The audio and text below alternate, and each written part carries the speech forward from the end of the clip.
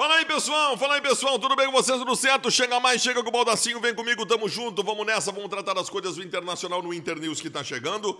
Eu quero falar sobre essa politicagem suja no Internacional, esse bando de gente pensando no próprio umbigo, pensando só em poder e secando o próprio time. Eu quero falar sobre não aguentar mais a desculpa do grupo curto e não consigo jogar duas ou três competições e piriri pororó. E eu quero projetar o nosso jogo de terça-feira contra o América de Cali com já um grande desfalque que nós não esperávamos. Vem comigo? Te inscreve no canal. Muito importante, tá bom? Agora o projeto é 300 mil inscritos e nós vamos chegar no maior canal de Colorados, tá bom? E joinha, nunca, jamais, agora já. Aperta o like aí, tá bom? Solta a vinheta!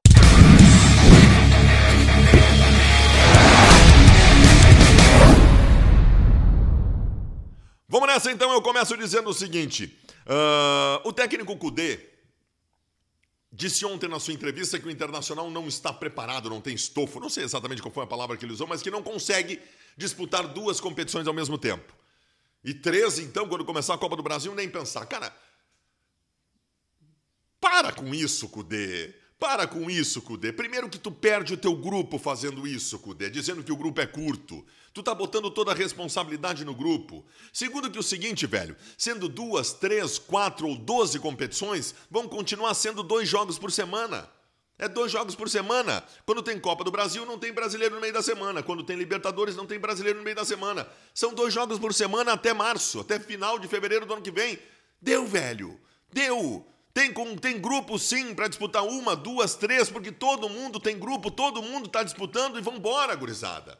O Internacional só tem grupo inferior ao Flamengo, Palmeiras, no resto é tudo mesmo balaio. O Inter, o Atlético, o Grêmio, todo mundo tem grupo igual. Quem tiver o trabalho mais competente, Cudê, vai brigar por título. Por que, que ninguém falava de grupo curto do Internacional antes da pandemia? Por que, que ninguém falava? Por que, que agora, quando o time despencou taticamente, o trabalho do treinador não dá mais resultado, só se fala em grupo curto? Antes da pandemia, o que, que nós falamos o tempo todo nos cinco meses que nós ficamos no meio da pandemia? Nossa, o Inter, só o Flamengo é melhor que o Inter. Vambora, estão brigando por todos os. Agora ficou ruim o grupo. Porque o trabalho do Cudê passou a não funcionar mais. Só porque machucou o Guerreiro, um jogador. Ah, para lá, cara. Vamos jogar, Cudê. Recupera o time, porque senão tu vai ter que sair, velho. Recupera o time, nós estamos esperando o teu trabalho funcionar. A outra coisa que eu quero dizer para vocês. Já falei 50 mil vezes para vocês que eu tenho nojo de política de futebol. Nojo, tá? Não significa que eu não entenda, porque eu tenho que trazer informação e eu sei tudo o que acontece nos bastidores. O Internacional é um nojo politicamente, com um bando de gente querendo poder há bastante tempo. Querendo poder, eu não estou falando só de oposição, eu estou falando de gente da atual gestão também, tá? Estou falando de gente de atual gestão também. Tem uma abutre, tem tudo que é lugar. Abutre que está secando o clube para ganhar poder, abutre que está querendo que a atual gestão vai má para assumir, abutre que está dentro da gestão que quer que caia um para ele assumir. Abutre tem tudo que é lugar, tá? O Inter está infestado de abutres.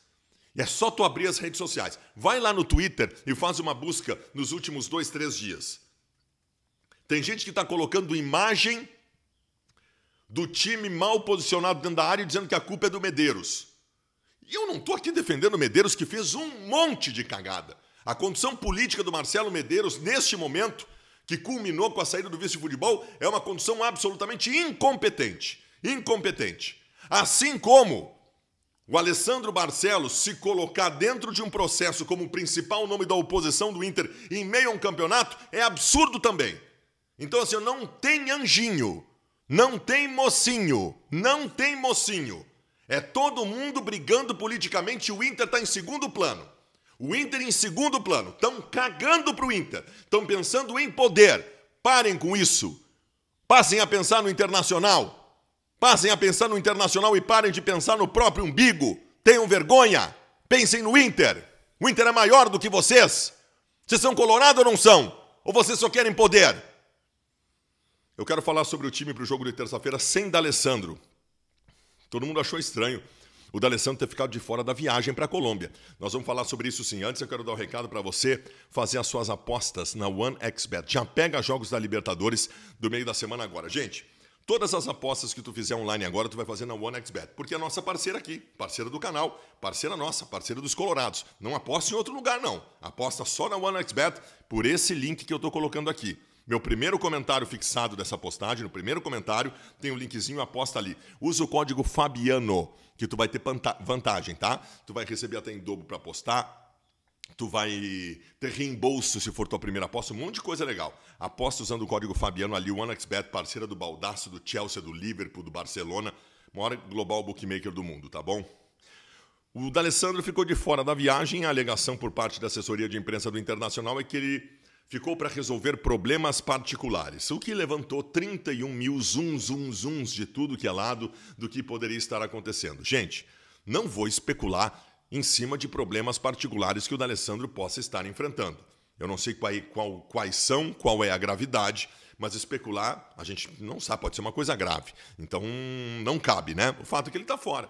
E não deixa de ser um desfalque. O D'Alessandro é uma peça que aparece sistematicamente no segundo tempo no time do Internacional. E esse jogo é decisivo e o D'Alessandro poderia ser uma peça importante ainda mais no momento em que o Internacional não tem contenção de bola, não tem retenção de bola na frente. O D'Alessandro sabe fazer isso. Não digo para começar o jogo, que eu sempre digo para vocês que o D'Alessandro não é mais solução para isso, mas como uma peça de reposição, pode fazer falta. Pode fazer falta sim. É mais um problema do Internacional para o confronto da terça-feira, em que não tem o Moisés, graças a Deus, não tem o Edenilson, graças a Deus, que estão suspensos, agora não tem o D'Alessandro, e eu estou projetando uh, o time do Internacional já com uma modificação na zaga. Será que o Zé Gabriel sai?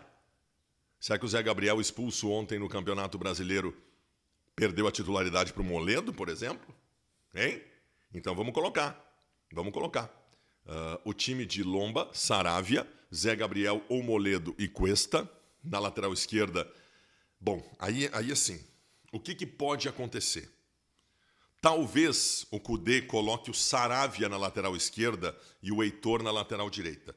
Embora o Heitor não tenha tido boa partida ontem. Talvez faça isso. Ou então improvisa de novo Jussa, que eu acho muito difícil porque não foi bem. Então cogitem tudo isso. No meio-campo, uh, Lindoso, que é o titular, Patrick voltando, né? Com o Bosquilha. E aí eu estou projetando o Praxedes ou o Nonato. Acho que o Nonato tem mais chances. E na frente, uh, o Galhardo e o Abel Hernandes. Esse é o time do Internacional. Nove da noite, todos vocês aqui Munique e eu estaremos aqui na live para lavar toda a roupa suja do Internacional. Eu tenho muita coisa mais para falar sobre essa questão política, sobre time, sobre contratação, sobre saída de Edenilson, sobre quem não pode mais jogar no Inter, sobre o saco cheio das desculpas do Cudê e sobre um monte de coisa, tá bom? Nove da noite, todos vocês aqui.